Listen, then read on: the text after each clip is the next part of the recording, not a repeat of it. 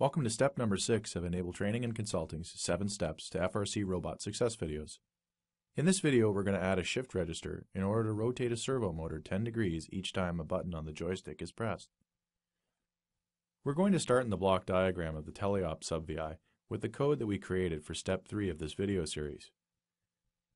The first thing we'll do is delete the axis 4 information and the add and multiply functions we used before.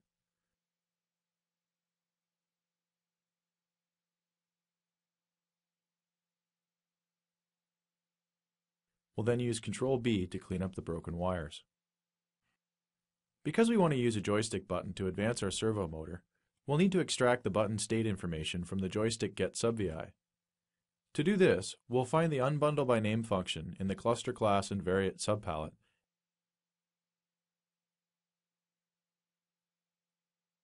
and drop it to the right of the joystick get sub-VI.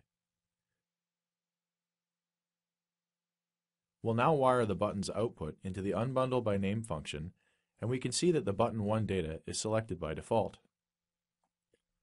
In order to have our servo advance by 10 degrees when the button is pressed, we'll need to get the current angle to calculate the angle we want to move to.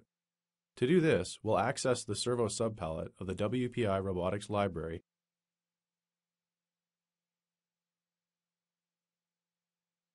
and drop the servo get angle sub-VI between the servo get reference sub-VI and the servo set angle sub-VI.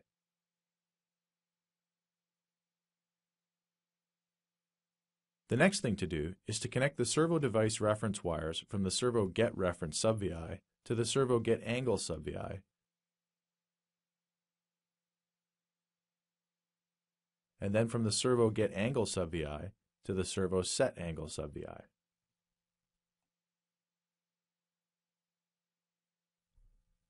Joystick button 1 has two states. We want our servo to move when the button is true and do nothing when it's not. So we use a case select structure and drag it around the angle get sub-VI and the angle set sub-VI.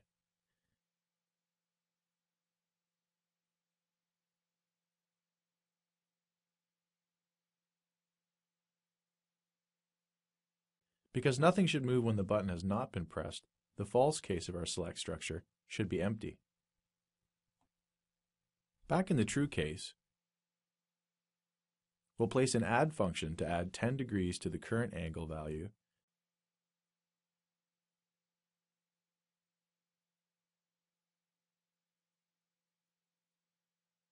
and a greater than or equal to function to compare the new value with a constant of 170.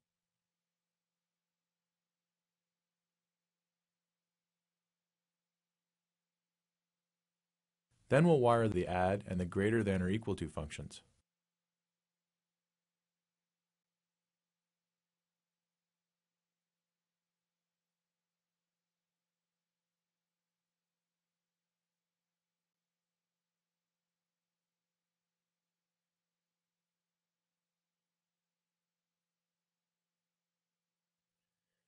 Then we'll wire the numeric constants to the add and the greater than or equal to functions.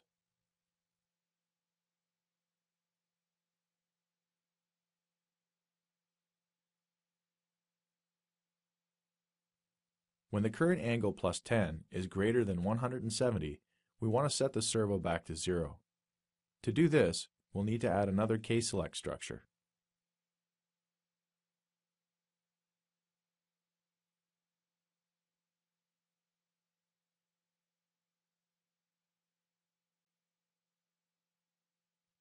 We'll wire the output of the comparison function to the selector terminal of the case structure.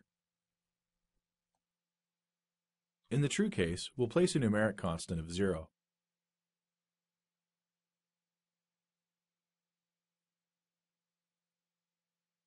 We then wire that constant through the case structure and into the angle input of the servo set angle sub-VI.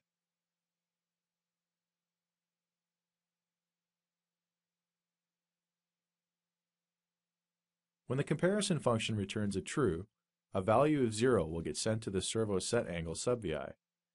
When the comparison function returns a false, we want to move the servo motor another 10 degrees from where it is. So we'll switch to the false case and wire the output of the add function right through the case to the output tunnel.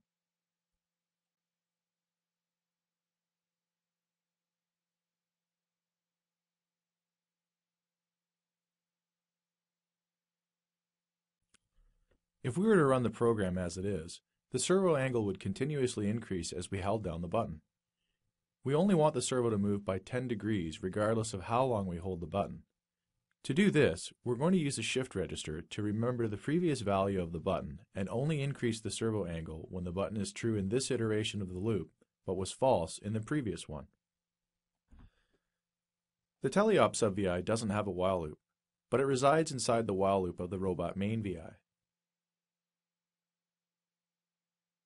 To add a shift register, right-click on the while loop and select Add Shift Register.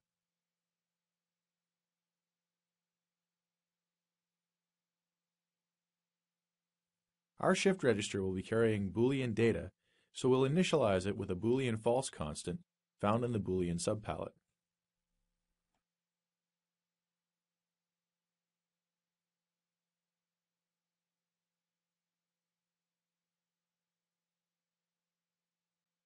Let's go back to the front panel of the teleop sub-VI. We need to bring the previous value of the button into the sub-VI and pass the current value out. To do this, we'll add a control for the previous value,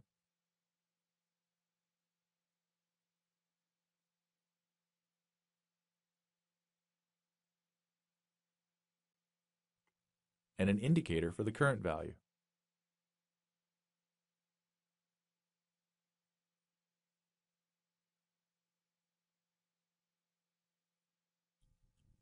To make this control and indicator available outside of the sub-VI, we need to wire them to the sub-VI's connector pane. To do this, right-click on the sub-VI's icon in the top right corner and select Show Connector. Then click on one of the little boxes in the connector pane and select the control to associate with that connector. Do the same for the indicator.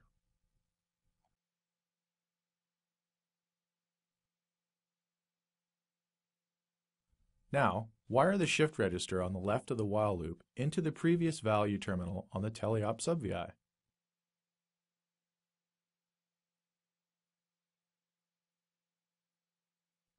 Then, wire the current value terminal of the teleop sub-VI to the shift register on the right of the while loop.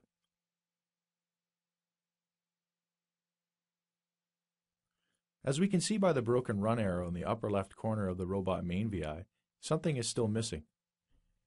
The tunnel on the right side of the case select structure is a hollow box, meaning that some cases have no data connected to this tunnel.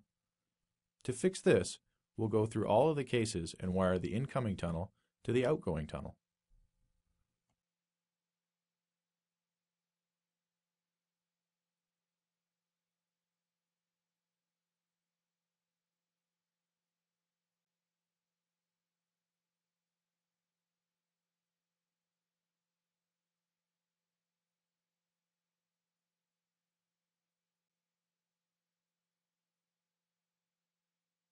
Now we'll finish the code in the teleop sub-VI.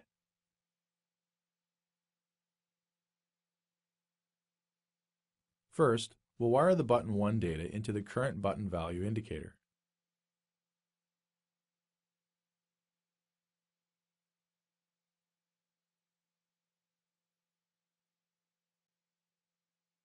Then, we'll place an AND function and a NOT function on the block diagram to the left of the case structure.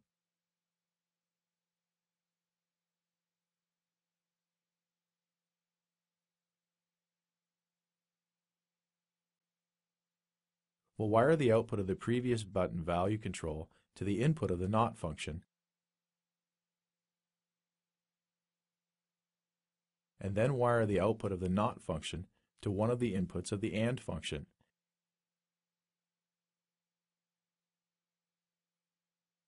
and connect the output to the selector terminal.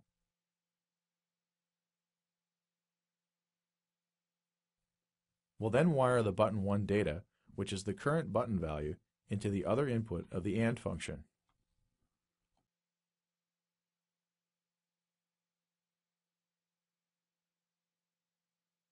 When the button is pressed, the output value of the AND function to the case selector will only be true for one iteration of the robot main loop. If the button is held longer than one iteration of the loop, the previous button value returned by the shift register will be true. The output of the AND function will then be false and the servo motor will not move. When the button is released, the previous button value control will be false on the next iteration of the robot main loop. If the button is now pressed again, the output of the AND function will be true, and the true case of the case structure will be selected, moving our servo. In step 6 of our 7 steps to FRC robot success, we demonstrated how to pass data from one iteration of a while loop to the next by adding a shift register. We also showed how to pass data into and out of sub-VIs.